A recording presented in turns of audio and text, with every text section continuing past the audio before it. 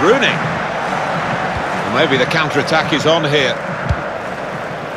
This is how they love to play on the break. In on the goalkeeper. The goalkeeper to the shots on here. And we've got a goal. That's the first one, and I think there'll be a few more to come. Roberto Carlos. Really getting at the opposition this far up the pitch now. Cristiano Ronaldo! Oh, what a fine goal! They lead by two now. It's left, that's added time. Kyle Walker.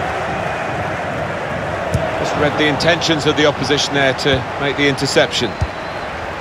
Mohamed Salah. The shot's on! They have taken the lead here in the dying moments. Well, this place is absolutely jumping. What a finish and at what a stage in this match. And the goal looks spectacular and is very important.